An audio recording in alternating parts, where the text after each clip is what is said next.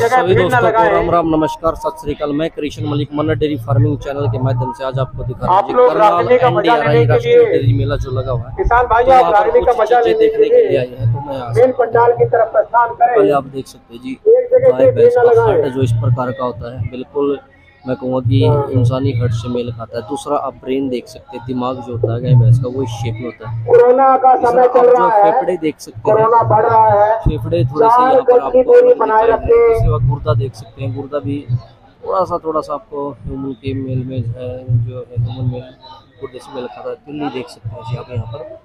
तो ये यहाँ पर ये ऑर्डर देख सकते हैं इस पर और ये दूसरा यहाँ पर आप टेस्टिस देख सकते हैं जो वो लोग का टेस्टिकल होता है। तो ये बड़ी अच्छी अच्छी चीज़ें यहाँ पर देखने के लिए आई हुई हैं और डॉक्टर की टीम भी यहाँ पर मौजूद है। पीछे भी इन्होंने कई सारे बैनर यहाँ पर लगाए हुए हैं। तो ये बैनर चल रहा है।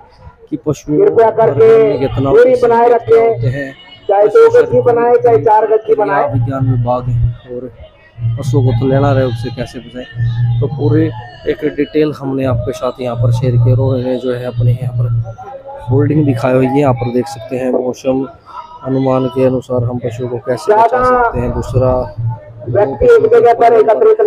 गर्मी का कोरोना काल चल रहा है। तो ये चीज़ें यहाँ से कोरोना की कर ली हैं सावधानियों को बरतें। फ्री होके हम डेयरी फ़ार्मिंग में जो है मेरा पुलिस स्टाफ से भी पशुओं को है रिक्वेस्ट है। बचा सके। तो बड़े अच्छी अच्छी चीज़ें यहाँ पर एकत्रित ना हो आई हुई हैं। ताकि देख सकते हैं जी सभी डॉक्टर व्यवस्था बनी रहे। जो बैठे हुए हैं राष्ट्रीय मेला में। तो जो हमने पूछा इन्होंने सारी बताई हुई हैं। रागनी का कार्यक्रम जोरों जी, चल रहा है। साथ शेयर करें। जो भी भाई जो है और भी लोग रंगारंग कार्यक्रम का लुत्फ उठाना चाहते यहाँ हैं। वो पंडाल की तरफ़ चले जाएँ। यहाँ से आप देख सकते हो ये राष्ट्रीय डेली मेला जो यहाँ पर आयोजित हुआ है पूरी जो है हम कवरेज यहाँ से आपको दे रहे हैं। और भी अगर कोई देखने है लायक। चीज़ यहाँ पर होगी तो वो भी जो है आपको दिखाएँगे।